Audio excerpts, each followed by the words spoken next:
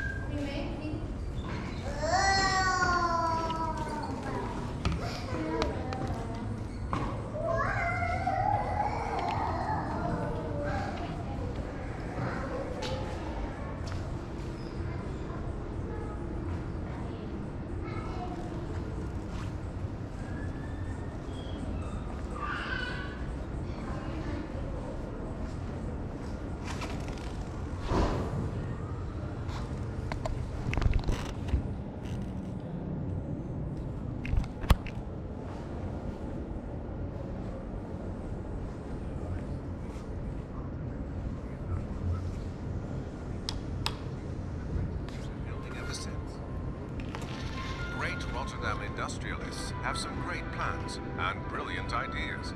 The Rotterdam Bank, the Holland America Line, the White House Office Tower, and the Rotterdam Trade Association.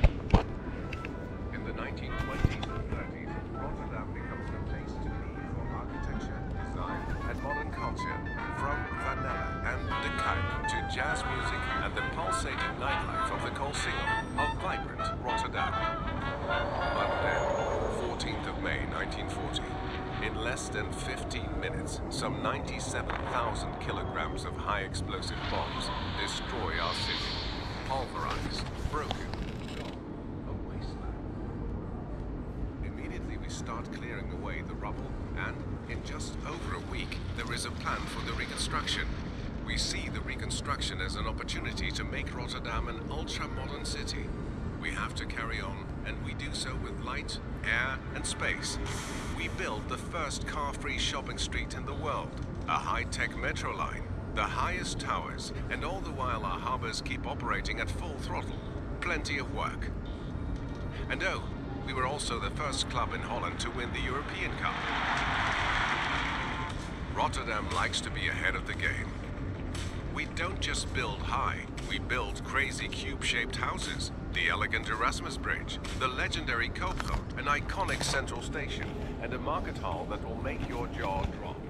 We enjoy art and architectural masterpieces with a multicultural influence, because everyone is welcome here.